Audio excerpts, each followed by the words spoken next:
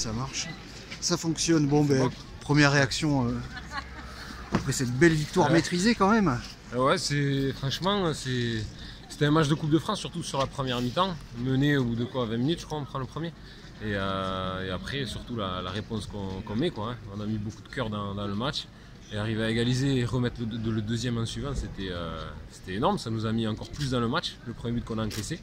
Et euh, voilà, quoi. après, après ben, on a fait euh, un match de Coupe de France. On a joué le match pour le gagner. Et, euh, Ça vous a pas perturbé de prendre un but après 15 minutes? Eh ben, si on avait perdu, je vous aurais dit que oui, mais au final, ça nous a galvanisé. Donc, euh, non, c'est franchement sur la réponse qu'on donne après le but encaissé, surtout contre une Ligue 2, c'est euh, costaud, quoi. Donc, euh, mais c'est à l'image de ce qu'on fait depuis quelques temps. L'équipe s'est remobilisée et, euh, et franchement, donner la réponse comme ça euh, après un but encaissé aussitôt devant autant de monde, parce qu'on n'est pas habitué à jouer devant autant de monde, c'est euh, franchement c'est top, quoi. C'est top. Et puis, je pense que sur l'ensemble du match, c'est quand même assez mérité parce qu'on a quand même pas mal d'occasions.